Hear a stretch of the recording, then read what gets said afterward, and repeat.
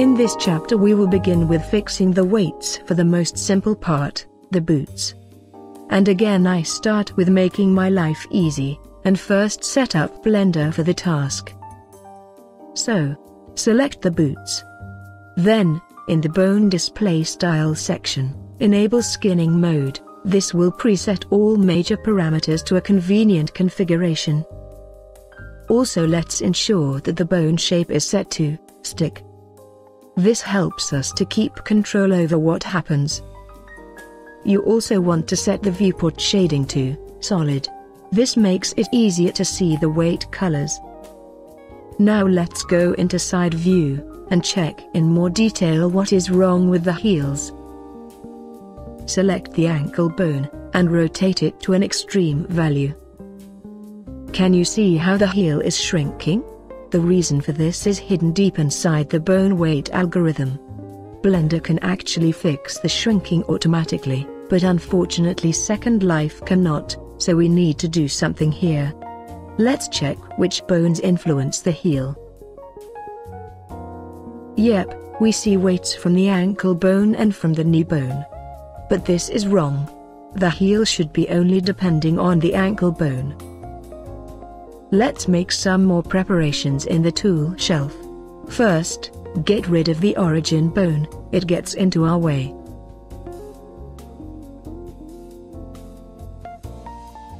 Then, select the Tools vertical tab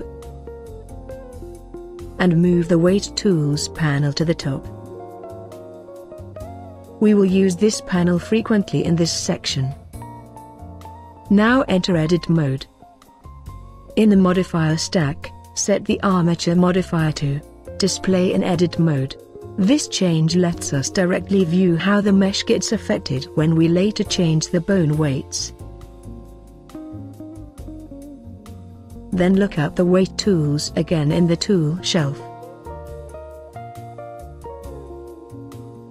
And once more move the section up to the top.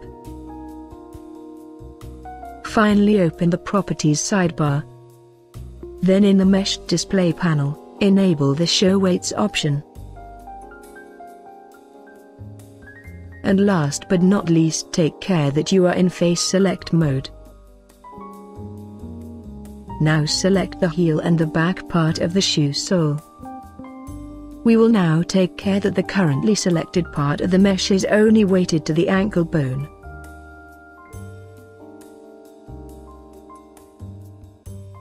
Now in the Data Properties section, ensure that the correct ankle bone vertex group is selected. And then assign a weight value of 1 to all selected vertices. You see that it worked when the heel turns red.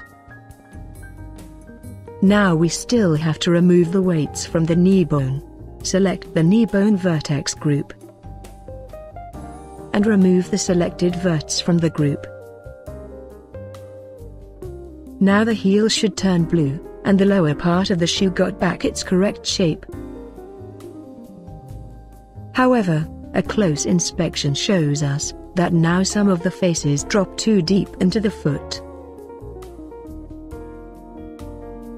Fortunately this is only a small issue, and we can fix this very quickly as follows go to Edge Select mode. Select the edges near the deformed part of the foot.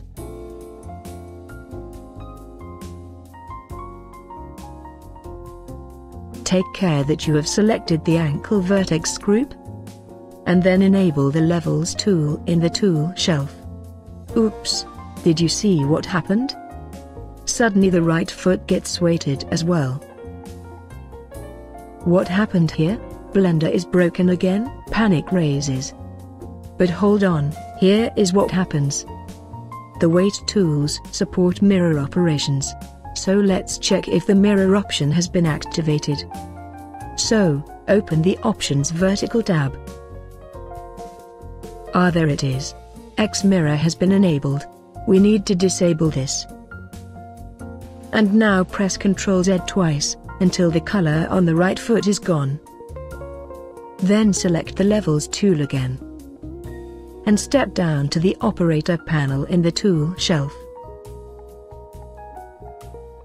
There, you can change the settings of the levels operator. Move the offset slider until the mesh looks appropriate. Well, okay. Now we have set these vertices to a weight of 1.0, but this part of the boot still does not look appropriate. This is because it still has weights on the knee bone. So we have to select the knee bone weight group and fix the weights there as well. But here is a nasty pitfall, whenever you change your selection, the operator panel of the weight tool does not take your changes into account. This happens only when you select the tool again, after you change the selections. OK, select the knee vertex group. Then select the weight tool again. And then change the values in the operator panel. The same is true when you want to change the selection of edges or vertices. After changing the selection, select the weight tool again then change the operator values. Again, change the selection. Select the tool. Tweak the values.